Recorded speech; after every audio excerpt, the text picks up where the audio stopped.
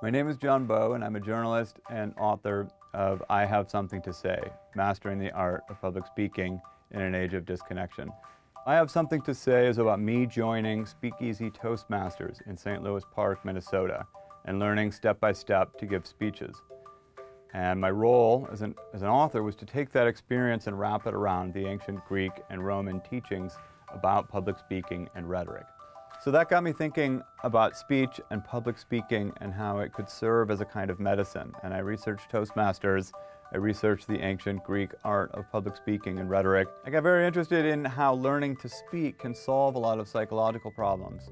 In 2011, I asked my editors at the New York Times Magazine if I could go write about the World Championship of Public Speaking that Toastmasters holds every year. And I flew there and I observed the contest. And what really blew me away was how friendly everybody was everybody was very helpful and dialed in and present. On some weird level, it struck me as being like the solution to the world's problems. If you could bottle this and sell it, there were a few different things that led me to want to write I Have Something to Say. One was hearing all the different stories from Toastmasters telling me about how learning to give speeches had utterly transformed their lives and solved all of these things that they thought were big psychological problems. Another one had nothing to do with the kind of self-help self-improvement point of view, it was my concern about these social and political problems in America right now. And it occurred to me that if you look at the rising suicide rates, you look at the rate at which people aren't talking to one another, they don't trust their neighbors, they don't trust the government, they don't trust anybody, and they're incredibly lonely, not to mention the fact that 74% of Americans have speech anxiety.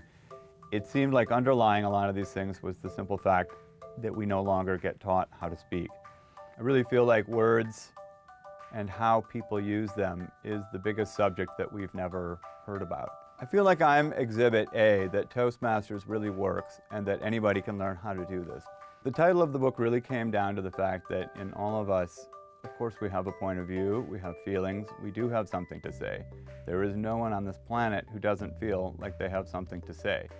We're all experts at being whoever we are, and when you can't say that, and join into the conversation, it's a terrible form of exile and isolation.